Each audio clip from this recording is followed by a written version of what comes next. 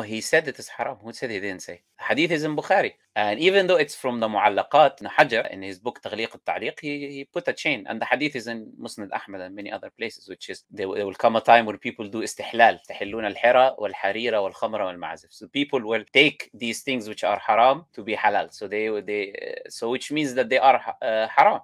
Because people will claim it's halal, and the Prophet says yastahilluna, and you cannot do istihlal of something which is not haram. And there is other narration. I, I think Sheikh Al Albani he's got a book on. He's got all the narrations that talk about this, and you got the verses in the Quran. Uh, ومن الناس من يشتري له الحديث ليضل عن سبيل الله عبد الله بن مسعود he said والله it is غناء والله it is غناء والله it is غناء the evidences are many basically uh, so yes it is haram it is not makruh and by the way it is haram uh, the musical instruments are haram according to the four madahib by the way. this is an agreement of, of the imams of the madahib and the the main followers of all the madahib. So I do not know what you mean by makruh.